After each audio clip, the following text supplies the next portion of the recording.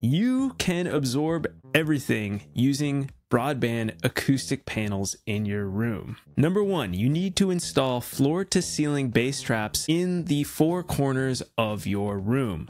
Ideally, you're starting with a rectangular room with a good room ratio, and then you fill those corners with acoustic bass traps. These can be just acoustic panels that straddle the corner, or it can be specifically like flush corner bass traps that you buy from some acoustic panel company. It doesn't matter. The point is floor to ceiling absorption. Next, this is something most people do not ever think about, but put soffit bass traps in the top corners of your room. Again, these are corners as well where the wall and the ceiling meet. So all the way around the perimeter of your studio at the ceiling, there should be acoustic soffits. This could be just acoustic panels that straddle that corner, or it could be rectangular soffits that are basically insulation covered in fabric that fill up that corner to help absorb low frequencies in the corners. Now, as we dive into this video, I want to give you some very clear and simple advice. Four inch thick insulation is pretty much the maximum I recommend for all of my clients. The reason being that beyond four inches, I think you're spending more money on insulation